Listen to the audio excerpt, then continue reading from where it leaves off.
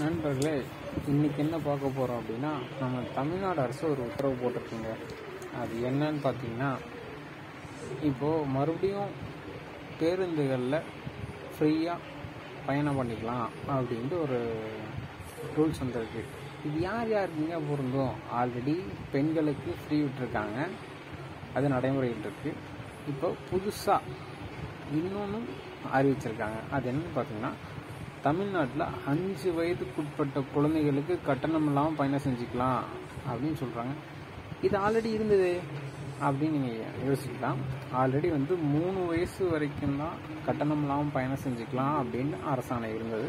இப்போ வந்து அதை திருத்தி அஞ்சு வயசு வரை இருந்துக்கலாம் அப்படின்ட்டு சட்டம் வந்து வந்திருக்காங்க.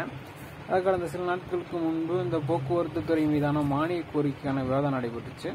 அப்போ தான் நம்ம இந்த போக்குவரத்து துறை அமைச்சர் எஸ் எஸ் சிவசங்கர் வந்து முக்கிய அறிவிப்புகளை வந்து வெளியிட்டிருக்காரு. அதன்படி தமிழ்நாட்டில் அனைத்து வகையான அரசு பேருந்துகளிலுமே அஞ்சு வகை- வயது ஊரில் குழந்தைகளுக்கு இனிமேல் கட்டணம் வசூலிக்கப்படாது.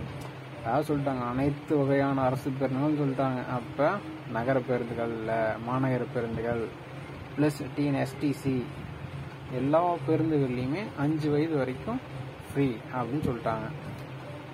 ஏற்கனவே மூணு வயது வரைக்கும் ஃப்ரீ இருந்தது. அதுக்கப்புறம் நாலு டு பன்னெண்டு வயது உடையவங்களுக்கு அரை டிக்கெட் வழங்கப்பட்டு இருந்துச்சு.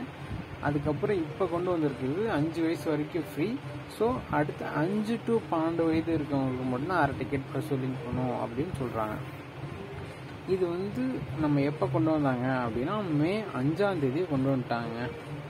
மே அஞ்சாம் தேதி இதுக்கான மானிய கோரிக்கை வச்சு கொண்டு வந்துட்டாங்க.